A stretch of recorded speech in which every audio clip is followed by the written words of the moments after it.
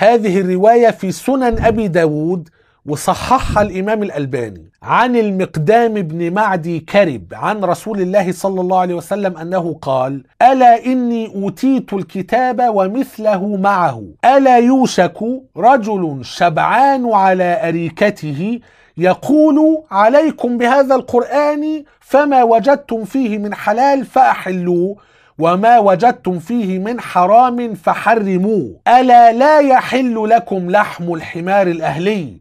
ولا كل ذي ناب من السبع ولا لقطة معاهد إلا أن يستغني عنها صاحبها. ومن نزل بقوم فعليهم أن يقروه فإن لم يقروه فله أن يعقبهم بمثل قراه. هذه الرواية ببساطة بتتنبأ عن رجل شبعان على أريكته. شوف الوصف. بيقول إيه؟ عليكم بهذا القرآن. بس القرآن هو المصدر الوحيد للتشريع. اللي تلاقوه حلال في القرآن تحلوه اللي تلاقوه حرام في القرآن تحرموه. مفيش مصدر آخر للتشريع. فالنبي محمد صلى الله عليه وسلم ضرب أمثلة لأمور غير موجودة في القرآن الكريم موجودة في السنة وبيأكد النبي محمد صلى الله عليه وسلم على حكمها. وبيأكد النبي محمد صلى الله عليه وسلم على إن السنة مصدر من